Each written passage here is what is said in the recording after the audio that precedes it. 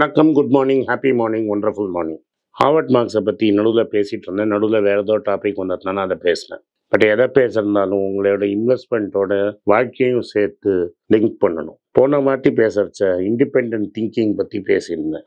Risk and uncertainty பற்றி பேசியிருந்தேன். உங்களுக்கு என்ன கிரிக்கெட்டோட டெர்மாலஜி எனக்கு ரொம்ப பிடிக்கும். கிரிக்கெட்டோட மிக்ஸ் பண்ணி வாழ்க்கையை உங்களுக்கு புரிய வைக்கிறேன்.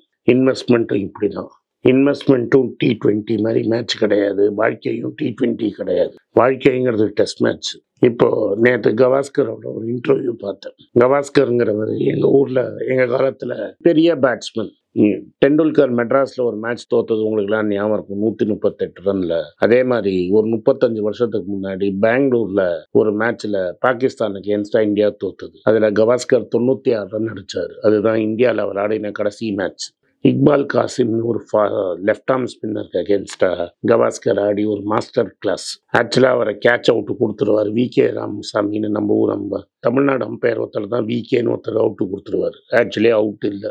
யூடியூப்பில் அந்த டேப் இருக்கும். பார்த்தீங்கன்னா அவரோட கால் பூட்டில் பட்டு கேட்ச் ஃபர்ஸ்ட் லுப்ல பிடிச்சிருப்பாங்க.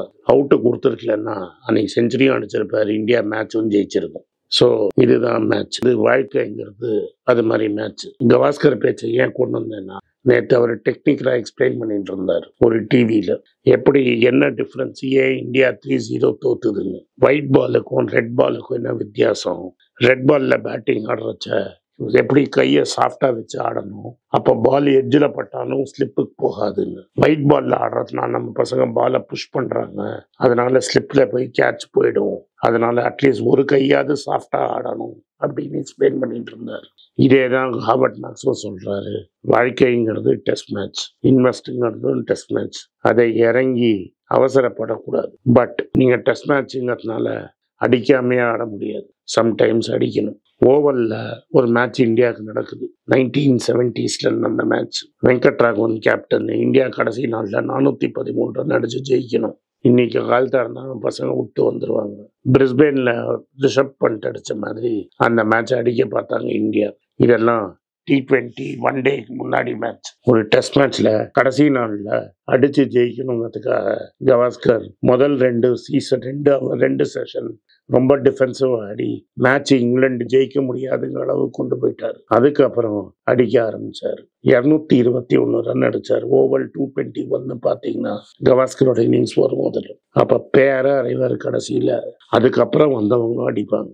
கடைசியில் ஒரு ஆறு விக்கெட்டு வரைச்ச டிஃபென்ஸ் வச்சு ஆறு விக்கெட்டோ ஏழு விக்கெட்டு போயிடுச்ச அந்த மேட்சை விட்டு டிஃபெண்ட் பண்ணிடுவாங்க. ஆல்மோஸ்ட் ஜெயிக்க வந்துடுவாங்க இதே மாதிரி ஆயிரத்தி தொள்ளாயிரத்தி எழுபத்தி ஒன்றுலையும் போர்ட்டா ஸ்பெயினில் ஒரு மேட்ச் ஜெயிச்சு கூப்பிட்டார் இன் மெட்ராஸ் எண்பதுகளில் ஆஸ்திரேலியா அகேன்ஸ்டாக ஒரு மேட்ச் ஆடி மேட்ச்சில் செஞ்சுரி அடித்து அடிக்க போய் டை ஆகிடும் இது எதுக்கு இந்த மூணு மேட்சும் சொல்கிறேன்னா டெஸ்ட் மேட்ச் ஆடுறச்ச கூட சம்டைம் ஜெயிக்கிறதுக்கு நம்ம அக்ரெசிவாக ஆடணும். அக்ரெசிவாக ஆடுறச்ச அதுக்கு எந்த டைமில் அக்ரெசிவாக ஆடணும்னு இருக்குது?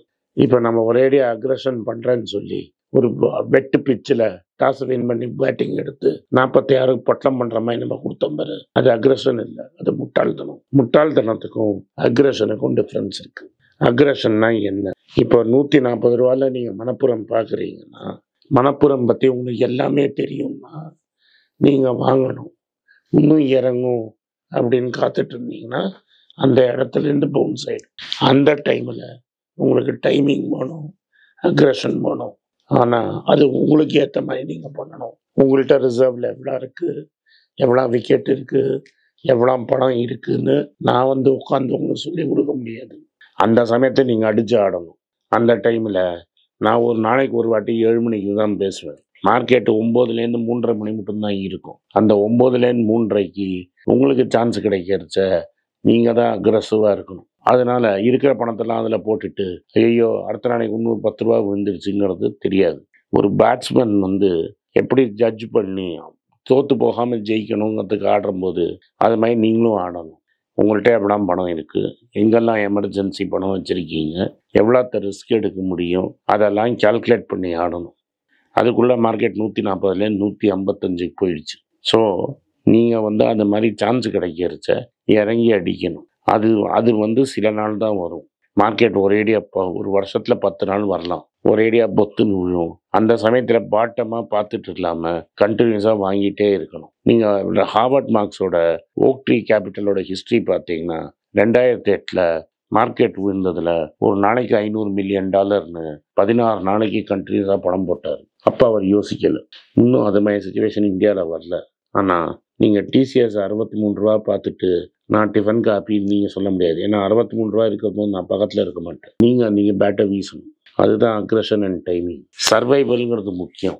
சர்வைவ் பண்ண போகிறோம் நிச்சயமாக ஒன்றும் ஆக போகுதுலன்னு தெரிஞ்சப்போ இறங்கி அடிக்கிறதுக்கு டைம் வரைச்ச அடிச்சுதான் ஆகணும். ஆனால் எப்படியும் நான் ஜெயிப்பேன் தோப்பேன் ரிசல்ட் வராது. டிராவும் வரும் டெஸ்ட் மேட்ச்சில் அதனால் நம்ம அவுட் ஆகாமல் டீம் தோக்காமல் இருக்கணும். டெஸ்ட் மேட்ச்சில் தோத்தா திரும்பி வருவோம். வாழ்க்கையில் தோற்று போண்டி ஆயிட்டீங்கன்னா திரும்பி வர்றது ரொம்ப கஷ்டம். அதனால் அந்த அக்ரஷனும் டைமிங்கும் இருக்கணும். வாழ்க்கையிலையும் அது இருக்கணும். சேஃப்டியாக இருந்துக்கிட்டே இருந்து கார்மெண்ட் வேலையில் சேஃபாக பிடிச்சி தூங்கிகிட்டே இருக்கணும்னு நினச்சிங்கன்னா உங்கள் லைஃபும் போயிடும். சம்பளமும் வராது. இன்னும் பென்ஷனும் கிடையாது. இப்போ நாமந்தான் கிடைக்கும். அதை விட்டுட்டு கரெக்டான சமயத்தில் ப்ரைவேட் செக்டர் தாபத்துக்கு உங்களுக்கு தெரியணும். அப்போது டெஸ்ட் மேட்ச்சில் என்ன பண்ணுறாங்கன்னா ரொம்ப நேரம் பேஷண்ட்டாக ஆடுவாங்க. சடனாக ஒரு சீசன் ஒரு ஒரு செஷனில் அடிப்பாங்க. அடித்து நிமித்துவாங்க ஒரு செஷனில் அப்போ ரெண்டு மூணு விக்கெட் வந்துருச்சுன்னா உடனே டிஃபென்ஸ் ஆடுவாங்க.